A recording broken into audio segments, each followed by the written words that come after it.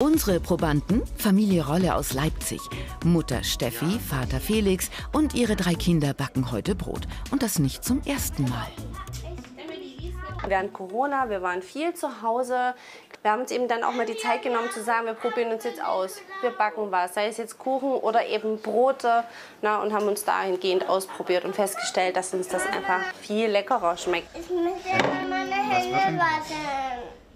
Aber wie viel kann man sparen im Vergleich zum gekauften Brot vom Bäcker? Familie Rolle testet für uns die klassische Brotbackmischung und die Zubereitung mit frischen Zutaten. Los geht's mit der Fertigmischung aus dem Supermarkt. Die Preisspanne ist dabei riesig. Je nach Qualität und Brotart kostet die Backmischung zwischen 60 Cent und 20 Euro. Die Grundzutaten sind gleich: Mehl, Salz und Hefe. Die Zubereitung kinderleicht.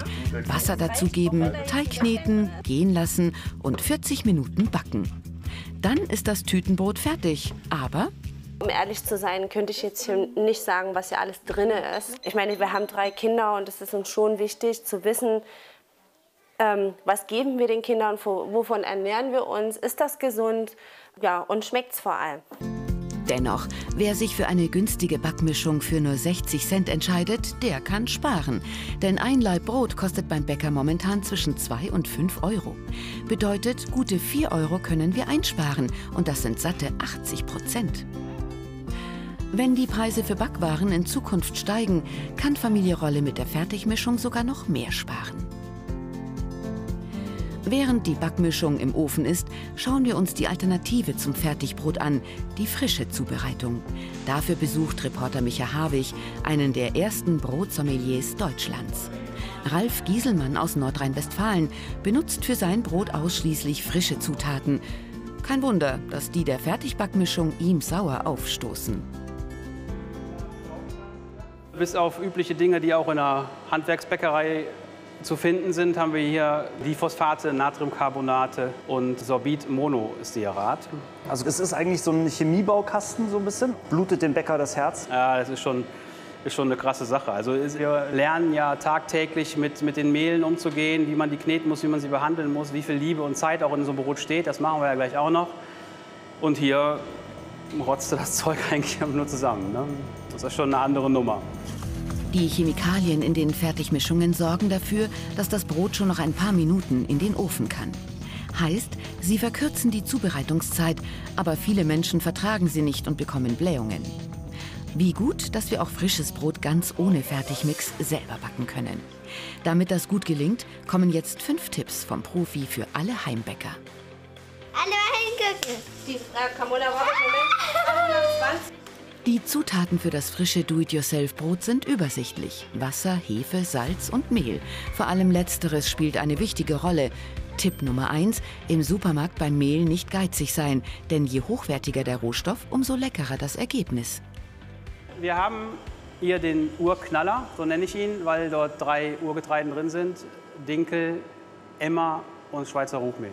Sie haben hier das Emmermehl mit ein bisschen Hefe und Salz. Das bekomme ich auch ganz normal im Supermarkt. Emmermehl müsste mittlerweile eigentlich in jedem gängigen Supermarkt zu finden sein. Ja. Das ist wahrscheinlich dann teurer als Oh, normales deutlich Mehl. teurer. Aber es ist halt für den Handwerksbäcker ein ganz tolles Getreide, um ganz andere Geschmacksnuancen und auch ernährungstechnisch ein wertvolles Brot zu backen. Und dieser fermentierte Teig, der wird hier quasi nur vermischt zu einem festen Vorteig. Zwischen 3 und 10 Euro kostet das hochwertige Emmermehl pro Packung, das sich vor allem für dunklere Brote gut eignet. Supersparfüchse bekommen ein günstigeres Mehl auch schon für rund 80 Cent pro Packung. Wer sein Brot feuchter mag, sollte das Mehl vor dem Vermengen aufkochen. Dadurch nimmt es viermal so viel Wasser auf. Anschließend das Wichtigste, der Teig braucht Zeit und Ruhe, um aufzugehen, mindestens einen Tag. Je länger man den Teig ruhen lässt, ihn fermentieren lässt, ihm Zeit gibt, sich zu entwickeln, werden die nicht so gut verdaubare Zuckerstoffe abgebaut und das Brot wird umso verträglicher. Das hat auch dann gar nichts mehr mit Weizen, Dinkel oder sonstiges zu tun. Und mit Gluten auch nicht. Und mit Gluten auch nicht, weil je länger man den Teig ruhen lässt, umso bekömmlicher wird nachher das Brot. Nach 24 Stunden sieht das Ganze dann so aus und muss nochmal richtig durchgeknetet werden für mindestens 15 Minuten.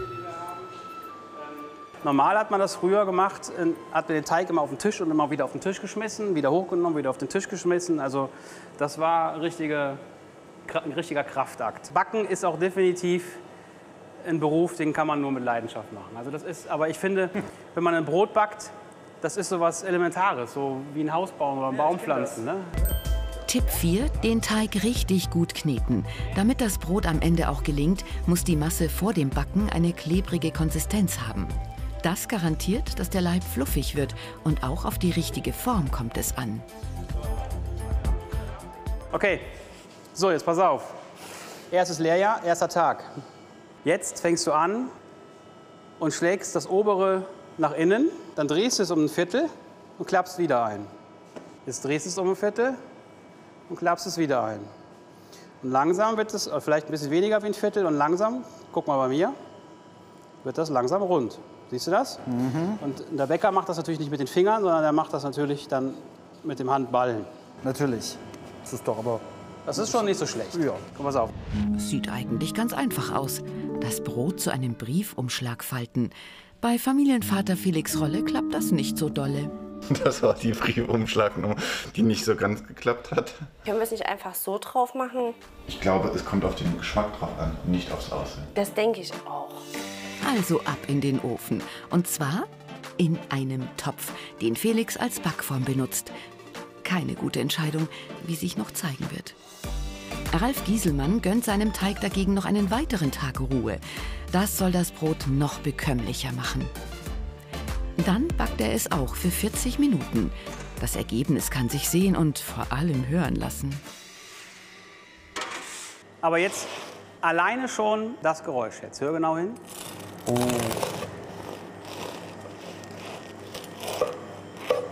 Das war schon gut, ne? Aber es riecht auch. Es ist echt gut. Viel Zeit und hochwertige Zutaten, das hat sich gelohnt. Aber wie sieht es bei Familie Rolle in Leipzig aus? Bisher haben sie ausschließlich Fertigmischungen verwendet. Heute bereiten sie ihr Brot zum ersten Mal frisch zu, ganz wie Bäcker Ralf Gieselmann, völlig ohne Konservierungsstoffe. Die Kosten für die Zutaten gehen schon bei einem bis zwei Euro los. Damit ist nicht nur die Backmischung, sondern auch das frische Brot günstiger als das vom Bäcker. Auch hier können wir bis zu 4 Euro, also bis zu 80 Prozent sparen. Nach 40 Minuten kommt das Selfmade-Brot zwar aus dem Ofen, aber nicht so richtig aus dem Topf. Beim nächsten Mal den Topf besser vorher einfetten. Zum Glück zählt heute aber nicht die Optik, sondern der Geschmack. Und was sagt Familie Rolle dazu? Welches Brot kommt besser an? Kandidat 1, das frisch zubereitete Brot. So, ich nehme mir mal so ein Stück mit. Oh, ist herrlich. Also richtig frisch und so diese Wärme, die dann hochsteigt. Mmh. Der Rand ist so hart. Mmh, ja, ist super. Hart. Knusprig. Auch nicht zu trocken innen drin. Ja. Also richtig saftig, lecker. Wir sollten bloß beim nächsten Mal eine andere Form nehmen. 1 zu 0 für das frische Brot, in dem rein natürliche Zutaten, aber auch viel Zeit stecken. Dagegen steht die Fertigbackmischung mit Konservierungsstoffen und Geschmacksverstärkern. Das Urteil? Ich finde es schön knusprig. Knusprig und vollmundig. Also Also es macht satt. Hört sich nach Gleichstand an. Günstig in der Herstellung sind beide. Die Backmischung noch etwas mehr als die frischen Zutaten. Welches Brot kommt in Zukunft bei Familie Rolle in die Röhre? Ich würde mich nach unserem kleinen Backexperiment äh, für das selbstgemachte Weizenbrot entscheiden. Das hat nur fünf Zutaten, das ist selbstgemacht und es schmeckt einfach. Also mir fällt die Entscheidung sehr schwer, weil die geschmacklich beide was haben. Aber wenn ich jetzt bedenke, dass ich hier einfach mal 18 Stunden vorher das alles ziehen lassen muss und ich mir jetzt das Endergebnis anschaue, ich würde mich wirklich eher für die Backmischung entscheiden, weil die sich besser in unseren Alltag integriert. Bei der Wahl des richtigen Brotes kommt es also nicht allein auf den Geschmack an. Fest steht, mit selber backen lässt sich ordentlich sparen. Brot aus Fertigbackmischungen gibt es ab 60 Cent. Brot mit frischen Zutaten ab einem Euro. Beides günstiger als das Bäckerbrot. Noch ein Tipp vom Bäckermeister Geiselmann. Für die Aufbewahrung empfiehlt er weder Brotbox noch Tongefäß.